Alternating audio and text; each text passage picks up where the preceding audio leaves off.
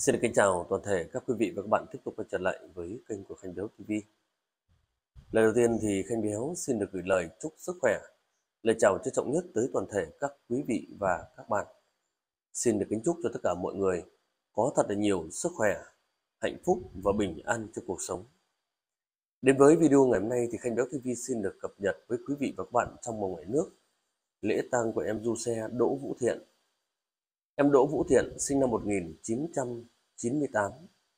Không may, em đột ngột qua đời, mặc dù đã được toàn thể gia đình cùng với các y bác sĩ đã tận tình cứu chữa.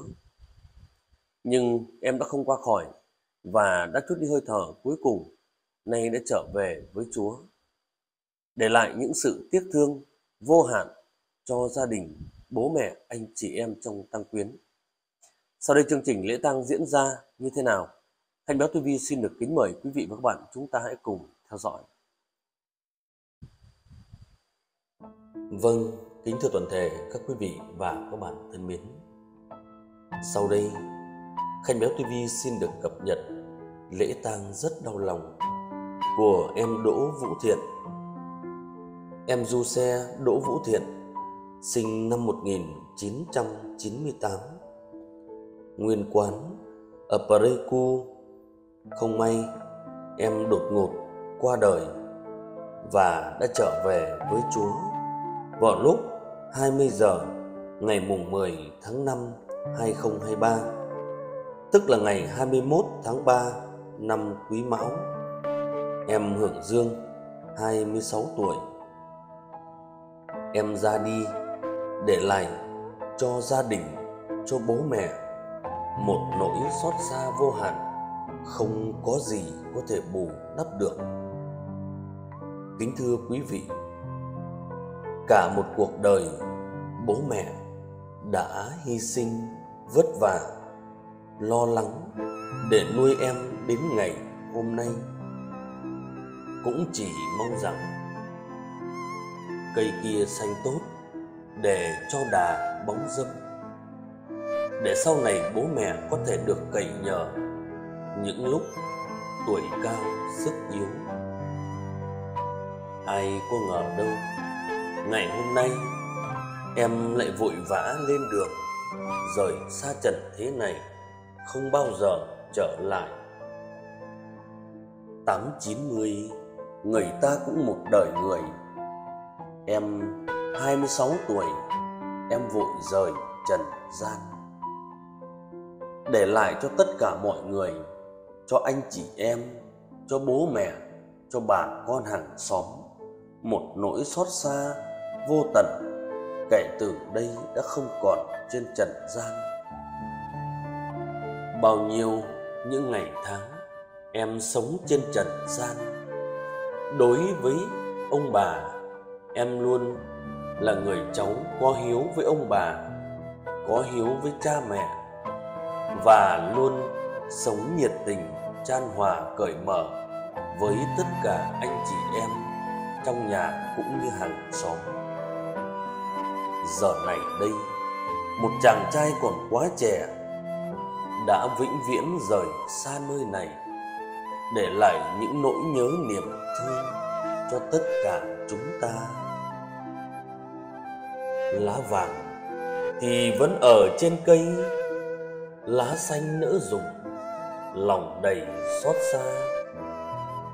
Hôm nay đây, bố mẹ tuổi già ngập ngùi đau xót, thật là nhớ thương. Nuôi con thì vất vả dặm trường, hy sinh mưa nắng để rồi cho con được ngày hôm nay. Vậy vậy mà giờ đây đang ngăn cách đôi bờ em đã mãi mãi về với Chúa và an nhàn bên Chúa. Em đâu có biết rằng tất cả những người thân, tất cả mọi người ai cũng khóc, ai cũng gọi tên em trước ngày chia ly vĩnh biệt. Xót xa, đau xót cũng chỉ mong rằng cầu nguyện cho em được thanh thản, được về nơi ấy vĩnh hằng được an giấc nghỉ ngàn thu. Kính thưa tất cả các quý vị, chúng ta chỉ sống trên trần gian này vài chục năm trời, cho nên cũng mong tất cả mọi người chúng ta hãy yêu thương, hãy che chở, hãy giúp đỡ cho tất cả người thân, hãy làm những việc thiện và hãy cố gắng giúp đời, giúp người. Lỡ một mai, chúng ta có trở về với chúa thì cũng không còn gì để mà ân hận nơi trần gian với những công việc chúng ta đã làm. Hãy sống tốt và hãy luôn yêu thương tất cả.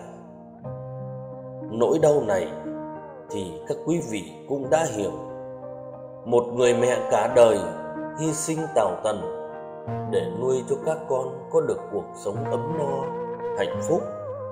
Đó là đã trải qua những năm tháng khổ đau để cho các con có được miếng ăn ngon, có được cuộc sống bình an, hạnh phúc.